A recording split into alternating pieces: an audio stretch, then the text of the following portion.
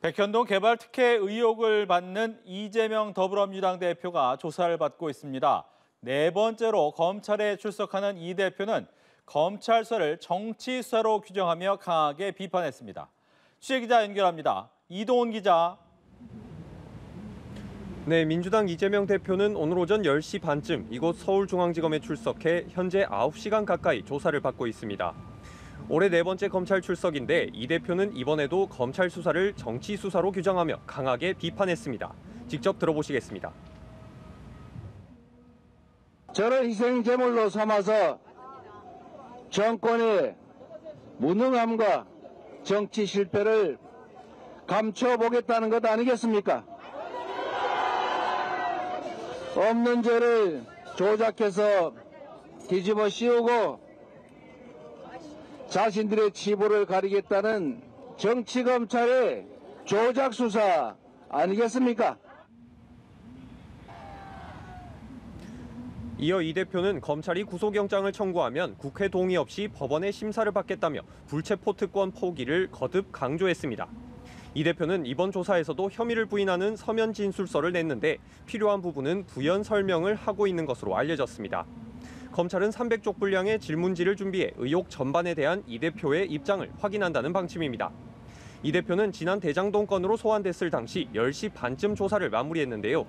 이번에도 저녁 9시 이후 심야 조사를 거부하면 비슷한 시간에 나올 가능성이 있습니다.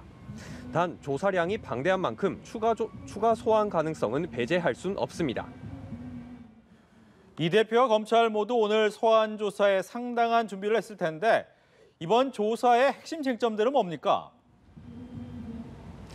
네, 백현동 개발 의혹은 이 대표가 성남시장 시절 민간 시행사에 특혜를 줘 3천억 원대의 분양 이익을 몰아주고 성남도시개발공사 등에 손실을 입혔다는 게 핵심입니다. 검찰은 민간업자가 영입한 이 대표 성남시장 선대본부장 출신 김인섭 씨의 청탁으로 특혜가 이루어졌다고 보고 있습니다.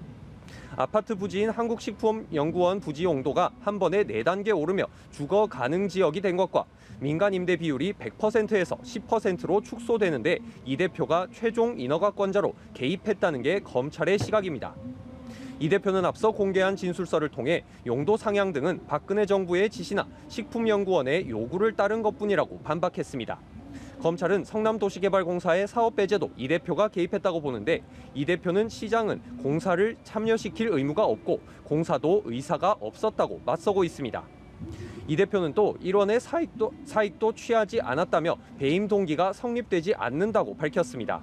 하지만 검찰 관계자는 성남도시개발공사가 확보할 수 있는 이익을 청탁을 받고 포기하고 이익을 민간업자에게 몰아준 행위만으로 배임에 해당한다며 사익 추구와 배임은 무관하다고 설명했습니다. 아울러 이 대표의 정치 수사 비판에 대해서는 지난 정부에서 의혹이 제기돼 감사원에서 감사를 진행했고 특혜가 확인돼 수사 의뢰가 들어온 것이라며 받아들이기 어렵다고 맞받았습니다. 지금까지 서울중앙지검에서 전해드렸습니다.